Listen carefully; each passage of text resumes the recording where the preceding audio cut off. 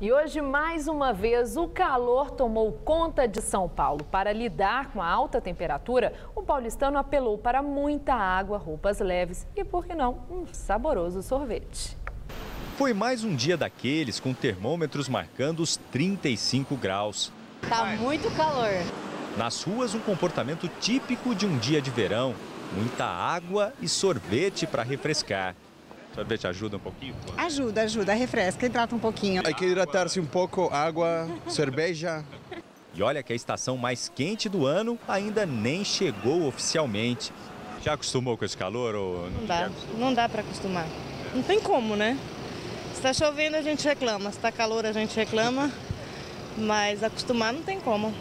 Quem pôde usar roupas leves comemorou, mas esse não foi um privilégio de todos. Tô vendo o paletó nas mãos, é o calor muito intenso? É, é, é o calor. É. Só assim para tentar refrescar um pouco. Né? Tirando o paletó. no trabalho tem que colocar. É, é, impre é imprescindível no meu trabalho.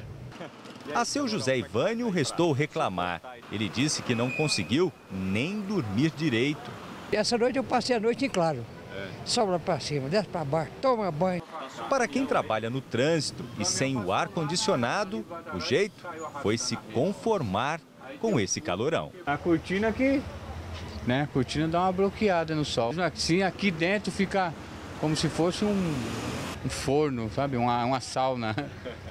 Mas não tem o que fazer, né? Tem que aguentar e tem que trabalhar. Na parte da tarde, o sol aqui em São Paulo chegou até a ficar escondido. O céu ficou bem nublado. Teve até um ventinho para refrescar.